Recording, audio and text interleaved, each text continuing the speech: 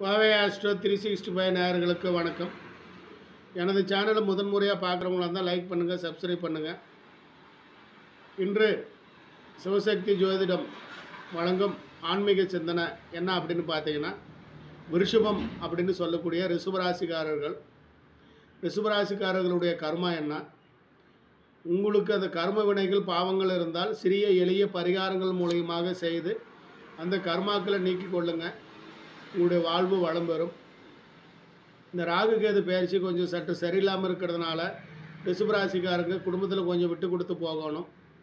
ஒரு சில சங்கடங்கள் குடும்பத்தில் சண்டை சச்சரவு பிரச்சனை பிரிவினைகள் இந்த மாதிரி தான் போயிட்டுருக்கோம். அதிகம் இப்போ பார்த்து பார்த்தீங்கன்னா ரிசுபராசிக்காரர்கள் ஒரு மூன்று மாதங்களாக அதிகமான பிரச்சனைகள் கணுமணிக்குள்ளே ஏற்படுத்திட்டு வரும். பிரிவினைன்ற அளவு கூட போகிற வாய்ப்புகள் உண்டு. கொஞ்சம் கவனமாக இருக்கணும். மார்ச் மாதம் இருபத்தொன்னாந்தேதி ராகு எது பயிற்சி வருது. அதுக்கப்புறம் இருந்து சிறப்பாக இருக்கும். சரி முன் ஜென்மத்தில் வந்து பார்த்தீங்கன்னா நீங்கள் மகர ராசியாக பிறப்பு எடுத்திருக்கீங்க. இந்த ரிசுவராசிக்காரர்களுக்கு என்ன மாதிரி பிரச்சனைகள் உடல் ரீதியாக இருக்கும் அப்படின்னு பார்த்தீங்கன்னா முகத்தில் பிரச்சனைகள் உண்டு. தேம்புல பபுள்ஸ் இந்த மாதிரி ஏதாவது ஒரு முகத்தில் ஒரு பிரச்சனைகள் அந்த மாதிரி கொடுக்கும். ரிஷபராசிக்காரர்கள் வந்து உடல் பருமன் பெற்ற நிலைகளாகவும் சிரித்த முக அமைப்புகளாகவும் ஒரு முரட்டுத்தனங்களாகவும் அதிகமாக நீங்கள் வீட்டில் திட்டு வாங்குறதுக்கு வந்து பார்த்தீங்கன்னா குட்டி குட்டி மறதினால் திட்டு வாங்குற ஒரு அமைப்புகளும் இருக்கும். கண் பல் சம்மந்தப்பட்ட வைகள் பிரச்சனைகள் கொடுக்கும். முகத்தில் என்ன பிரச்சனை அப்படின்னா கண் சம்மந்தமான பிரச்சனைகள் மாறு கண் முட்டை கண் அந்த மாதிரி கண் சம்மந்தமான பிரச்சனைகளும் பல் சம்மந்தப்பட்ட பிரச்சனைகளும் முன்னாடி ரெண்டு பல் பெருசாக இருக்கும். இல்லை அடுக்கு பல் சந்து பல் சிங்கப்பல் அந்த மாதிரி ஒரு அமைப்புகள் உண்டு. வேலையில் தடை கொடுக்கும். ரிஷபராசிக்காரர்கள் பொறுத்த வரைக்கும் வேலைக்கு போகிறதுக்கு சோம்பேறித்தனங்கள் இருக்கும். அப்படி வேலையில் இருந்தாலும் நிறைய தடைகள் தாண்டி அந்த வேலை செய்யக்கூடிய ஒரு அமைப்புகள்ன்றது உங்களுக்கு ஏற்படும். லக்கியான ராசி அப்படின்னா கன்னி ராசி அனுசம். இந்த ராசிகள் உங்களுக்கு சிறப்புகளை ஏற்படுத்தி கொடுக்கும். இரவு பொழுதில் முடிவெடுங்க. சந்திரனுடைய சாரநிலைகள் உங்களுக்கு இருக்கிறதுனால நீங்கள் உங்களுடைய முடிவுகளை வந்து இரவு பொழுதில் எடுக்கணும். பசு நமஸ்காரம் சேர்ந்துக்கணும். அந்த இரவு பொழுதில் முடிவெடுக்கும் போது உங்களுடைய வாழ்வு நலம் பெறும். உங்களுடைய கர்மாவை நீக்கிக்கொள்ள பசு நமஸ்காரம் செய்யுங்க.